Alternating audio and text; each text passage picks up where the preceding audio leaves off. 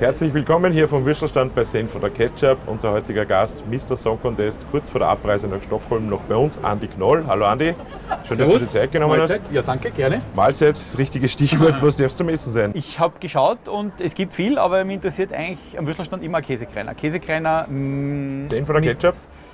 gern scharfen Senf, äh, gerne auch Creme dazu äh, und ein Semmel. Alles klar, kommt gleich.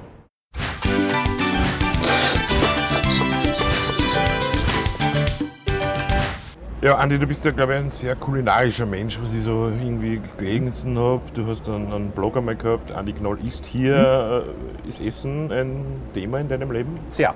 Also ich tue gerne essen. Ähm, ich finde, essen kann man immer, essen kann man alles. Äh, ich esse gern gut, aber vor allem viel. Ähm, ja, ich finde, man isst dann, wenn es was gibt, nicht unbedingt, wenn man Hunger hat. Also, und so ein Würstel schnell dazwischendurch oder muss nicht immer Fleisch sein. Also ich esse auch ganz viel kein Fleisch. Also Essen ist schon super. Also ich glaube, Essen ist eigentlich nach Schlafen das zweitschönste auf der Welt. Jänner 1994 habe ich nachgeschaut, deine erste Sendung auf Ö3. Äh, kannst du die Minuten, bevor die erste Anmoderation sozusagen, was, was ist da vorgegangen in dir? Kannst du dich daran erinnern? Ich glaube, ich war gar nicht so nervös, weil ich irgendwie, glaube ich, nicht begriffen habe, was da gerade abgeht. Also dass das jetzt wirklich so der größte Radiosender des Landes ist. Natürlich in der Nacht hören es nicht ganz so viel zu, aber es sind bei uns in der Nacht immer noch ähm, mehr als bei manchen Sendern untertags. Und das war schon sehr spektakulär. Du moderierst jetzt seit 1999 den, den Song Contest im, im ORF. Wie, wie bist du eigentlich dort dazu gekommen? Ähm, das Fernsehen hat beim Radio angefragt, du habt niemanden für einen Song Contest. Hat mir mein Radiochef damals gesagt. Und ja, also Ernst Grissemann, The Voice, da gab es viele Umbrüche Das sind ja damals. große Fußstapfen. Genau, ja. Es gab damals beim Song Contest gab es einige Änderungen. Man hat das Orchester weggelassen, man hat nicht mehr in Landessprache singen müssen und das hat der ORF quasi, das glaube ich, so ein bisschen zum Anlass genommen. Machen wir halt beim Kommentar auch mal was Neues. Und dann haben sie beim Radio gefragt und der Radio hat mich gefragt und ich habe gesagt, ja, sehr gern. Jetzt ist heuer die Sue äh, für uns mit dabei in Stockholm. Wie, wie schätzt du ihre, ihre Chancen ein? Du als der Experte. Naja, ist natürlich schwierig, weil das, was wir hier essen, äh, das hat bereits stattgefunden, wie sich die geneigte Zuschauerin und Zuschauer äh, vorstellen kann. Das heißt, wenn äh, ich verdaut habe, dann wird schon ganz klar sein, ob Österreich im Finale ist oder nicht. Ich sage jetzt Platz 17 im Finale.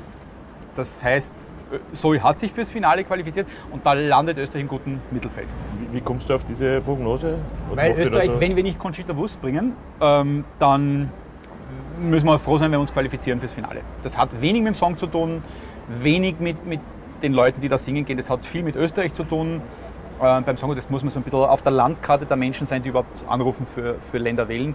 Und das sind wir halt nicht. Das äh, hat sich irgendwann einmal so ergeben und das ist halt so. Was isst man in Stockholm? Weißt du das zufällig? Na, ich war schon öfter da oben in Skandinavien, die essen sehr gern so Fisch natürlich. Ähm, es ist sehr roh, so wie Jamie Oliver kocht, so ein Riesenstück von irgendwas und dann hauen sie irgendwie eine halbe Blumenwiese drauf und alles ist grob und groß und so.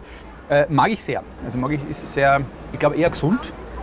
Ähm, So was wie Würstelstände gibt es die dort? ja, ja, gibt schon. Pölze. Mit Würstel oder mit? Pölse, ja, das ist so, äh, wobei das ist, glaube ich, Dänemark, Nein, das gibt es in Schweden auch noch, also diese, so ein recht lätschertes Weißbrot, ähm, eine ganz geschmacklose äh, Frankfurter-artige und dann tun sie aber so äh, geröstete Zwiebel drauf und Ketchup. Und ein bisschen Curry geht auch. Ja. Also Junkfood können auch die, Gott sei Dank.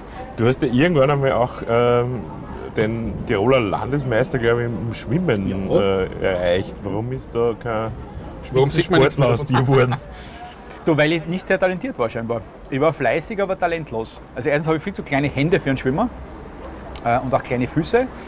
Und ähm, ich habe das gern dann von 8 bis 18 habe ich zu meiner fleißigsten Zeit zehnmal in der Woche trainiert, zum Teil vor der Schule, zum Teil viel nach der Schule. Ähm, aber das irgendwann war genug. Da kam dann das Radio, habe ich rauchen angefangen, leiderweise. Ähm, habe ich mittlerweile wieder aufgehört, Gott sei Dank. Aber das, ja, ich glaube, dazu braucht man sehr viel Talent und sehr viel Biss. Und Biss habe ich nicht. Also ich bin nicht besonders ehrgeizig. Wo siehst du dich in zehn Jahren beruflich? Ich habe keine Ahnung. Also, Oder wo würdest du dich gern sehen? Na, es soll nicht schlechter werden. Also wenn, wenn man mich weiter lässt, würde ich gern weiter alles das machen, was ich mache. Weil Radio und Fernsehen und dazu da Würstel essen mit dir und Eben, dann ja. wieder zum Song Contest fahren und so. Also es ist, ich darf ganz viel machen, Gott sei Dank.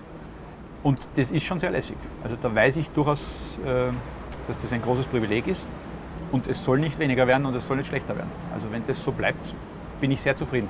Ja, Andi, du hast uns vorab ein, ein lustiges Foto aus deiner bewegten Karriere sozusagen zukommen lassen. Das hast du ausgesucht Erklär uns bitte mal, ja. warum ist dieses Foto entstanden? Was war da? Ich war nicht jung, aber wollte das Geld. Die haben mich nackig gemacht, wie öfter schon. Nein, äh, das war bei der Romy und das war, glaube ich, so eine Stunde vor der Sendung. Und nachdem ja irgendwie ich mittlerweile recht gern auf Facebook bin und das auch lustig finde und auch auf Instagram, habe ich mir gedacht, das könnte man, das war wirklich gerade so, Kathi schon fertig, ich fast fertig und dann machen wir schnell ein Foto.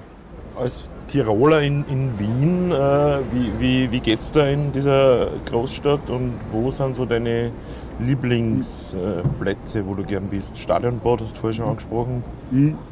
Ich glaube, Wien ist eine Stadt, wo man für den Euro sehr viel kriegt, qualitativ. Ja, eine fetzengute Käsekreiner.